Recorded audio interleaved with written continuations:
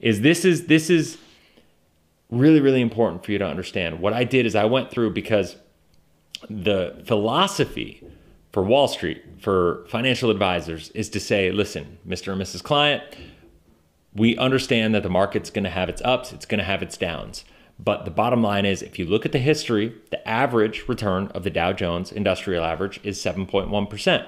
So we can look at that and we can conservatively say that at 7.1%, uh, if you buy and you hold and you just ride it out and let it roll for you know 30 40 years you're going to be good to go. Now, I'm showing a simplified version of this because obviously I put a lump sum up front. It's going to ride out. Um, but the principle here is what I'm trying to show. And I have a much longer period of time, 1929 to, uh, to 2021. You're talking a long period of time for the interest to accumulate. So if you were to compress that to a 30 year period, obviously, uh, depending on what 30 year period we're talking about here, the results vary. But what I'm talking about, the, the, the point that I'm trying to convey is expectation versus reality. Hey, what's going on, cash flow hackers? It's Chris with Life 180, and for this video, we're going to be talking about the average rate of return, um, why it's a lie, uh, why it really has nothing to do with you reaching financial success, and ultimately, what I'm going to do in this process is kind of show you uh, some math and facts behind the fact that when I tell you two of the biggest lies that you're told is that you should buy and hold for a long period of time and that the market is just going to average out and that works to your advantage. So the buy and hold proponents out there, the people that love that idea, I'm going to prove mathematically why that why that is a just laughable uh, joke and pretty sad and why in my opinion it should be un- it is an unethical and it should be quite frankly illegal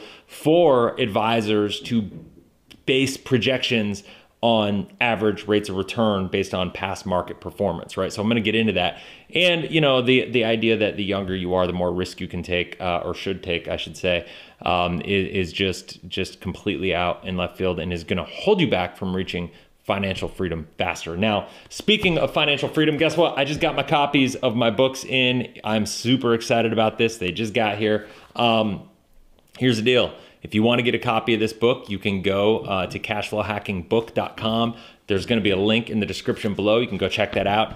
Um, if you want to reach financial freedom in around a decade or less, um, I'm telling you, go read this book. In the meantime, uh, you can also, by the way, go to Amazon, get it for 20 bucks, or you can go just pay shipping and handling uh, on on the book funnel there, and it will it will get get shipped right out to you as soon as possible here. So anyway, let's get into this. So what I did is um, I put together three spreadsheets. And the, the spreadsheets this is going to be for all you geeks out there like me who who really want to understand the nuances of this. So what i want to do is actually share my screen here and show you the calculations and walk through kind of the moving parts of why the average rate of return really is a myth why it's it's you know is is deceptive really. And it's actually if you bank on those projections it's going to hurt you. I'm a big believer that um, anything we measure improves and you know also that it's the things that we misunderstand um, that that we don't expect to happen to us are the things that throw us off our game. It's one of the reasons I don't like index universal life insurance and I love whole life insurance is because of the fact that it's not that I don't like index universal life, it's that I think it's one of the most missold, if not the most missold financial product in the world, simply because the performance never matches the illustration. And I think that's where the danger comes in. And that's going to make a lot more sense as I go through this projection for the average rate of return. All right. So, what I did here is I did a. Um, I have three tabs down here. So, just full transparency, you'll see these tabs. Um, and what I did here is you can see here on the left columns, I got the year and then I have the rate of return right here, right? And so, ooh, yep. So I have the rate of return. And what happens is you can go down through here and you can see rate of return every year after every year. Um, year over year, there's some big years 18.7, 7.25, 22.34, negative 5.63. So it is what it is. We got some negative years. Uh, we have a lot of big years. And, and if you go back in the past, there's some big negative years. But the idea here is to understand, and this is just conceptual here, is that the average you can see average, I'm just showing the math here. The average, this is the calculation that's being run, right? is 7.10. So that's saying the average rate of return from 1929 to 2021 was 7.1%. Now, what I want to do is this is this is really really important for you to understand. What I did is I went through because the philosophy for Wall Street, for financial advisors is to say, listen, Mr. and Mrs. Client, we understand that the market's going to have its ups, it's going to have its downs. But the bottom line is if you look at the history, the average return of the Dow Jones Industrial Average is 7.1%. So we can look at that and we can conservatively say that at 7.1%, uh, if you buy and you hold and you just ride it out and let it roll for, you know, 30, 40 years, you're going to be good to go. Now, I'm showing a simplified version of this because obviously I put a lump sum up front. It's going to ride out. Um, but the principle here is what I'm trying to show. And I have a much longer period of time, 1929 to, uh, to 2021.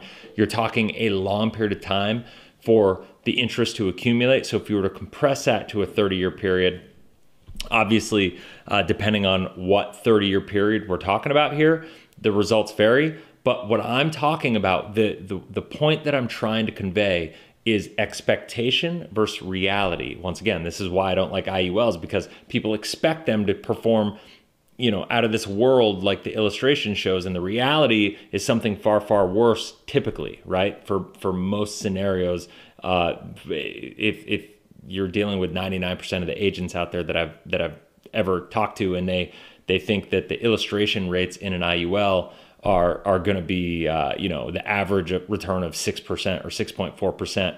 If you have an IUL agent that's running an illustration rate showing you that it's going to average out to be about four and a half percent, then you know uh, then maybe that's something you could roll with as far as far as the results go. But anyway.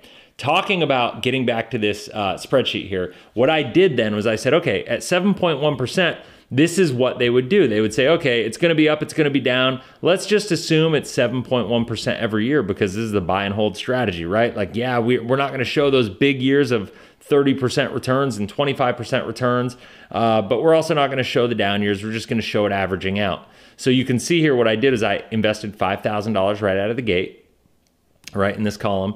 And at a 7.1% return, you got 53, 55. The next year, you got 53, 55. Starting the year, you end with 57, 35. And it's just going to keep compounding because that's how it's going to average out. So the average rate of return you could see over a period of time, uh, compounding by 1964, uh, you got 59,000. You breach 100,000 in 1972, uh, and, and it's just going to keep growing. And by the time we hit 2021, about 92 years later, uh, we have two million nine hundred forty-seven thousand seventy-two bucks. So almost three million dollars, right? So this is the idea that they would project you. And uh, once again, they say, hey, it's going to have its ups, it's going to have its downs, but it's going to have a 7.1% average, and so we're going to run this model, and that's what they do. And what it's important to understand is now we're going to get into the real performance, right? And this is really, really, I, I mean, I, I can't stress enough that based on the order of returns and based on what's happening here, you can see 1929 obviously uh, was a financial crisis. It was negative, negative, negative, negative. So we started off in a bad time frame. But the reality is that could happen to anybody, anytime, any place.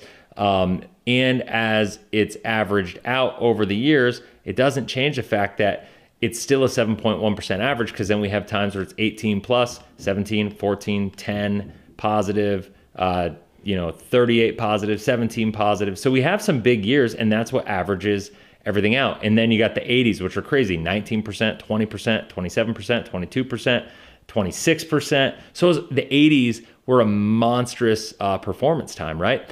But here's the bottom line because of the fact that you interrupt with negative performing years, right? And you have these negative years and you have the like the dot com bubble in 2000, 2001, 2002, right? And and then you have the housing crisis in 2008. This is what I'm saying, the average didn't change here, right? The average rate of return in the market in that time frame is is exactly what I based this average on because like you can see here, the calculation, the formula, I didn't change that, right? You can see here, this is the formula. It's the average of those cells. I'm showing you right here. I'm showing you uh, the formula, the calculation, the math, right? But here's the deal. The real performance, what that $5,000 actually grew to was $605,000, right? So remember, if we grew it and you were being sold by me as your financial advisor, as a classic traditional financial advisor that was trying to convince you that, hey, listen, Mr. and Mrs. Client, you you just got to buy and hold. It's going to average out. Don't let the down years scare you. Let's just average it out 7.1%. It's all going to be good. And if you do that in this scenario, I have a crystal ball. Let's say you had this time horizon of $5,000 would grow to 2.9, almost $3 million, right? But then you got there and you were expecting that you had almost $3 million, but you wound up with only $605,000, right? And this doesn't even account for the loss of purchasing power that that $605,000 would have over a 92 year period of time, right? Like it's kind of crazy when you think about that, right? So um, here's the deal though it gets worse because that's just pure market returns. Now you go into the fact that we have fund fees and management fees. And, and when I combine those up, and they could be higher than this, I think 1.5% average between the two is, is pretty clean. It's pretty pretty reasonable for most scenarios.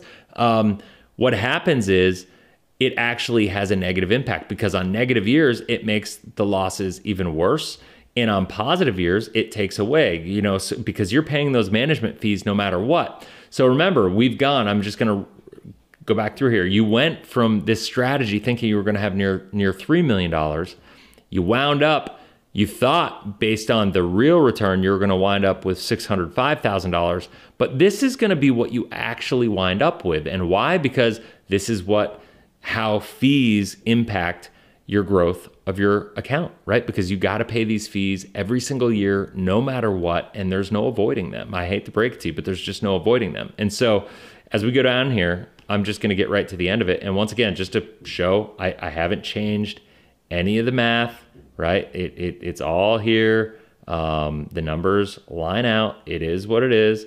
Um, and I can show you the, the formula, the calculation here. Um, you know, it's right here. You can see that for everybody who wants to see that. For anybody that's questioning my math here, it's there.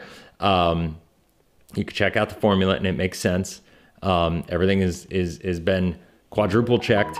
And so here's the bottom line though, because of the fees, you went from having $605,000 at the retirement to 155,000, right? So that's $450,000 in extra opportunity costs because of the fees that you experienced over those years. So as you can see here, like the math just works out. You went from thinking you had nearly 3 million, uh, you know, to the performance being just over 600,000, but at the end of the day, after fees, after everything, the real money in your pocket was only going to be about 155,000, right? Like or 150ish thousand, 155,000. Yeah. And so so when you when you look at those numbers, this is my problem. It's all about expectation management, right? And and this doesn't even account for the fact that $155,000 when when you account for inflation over those years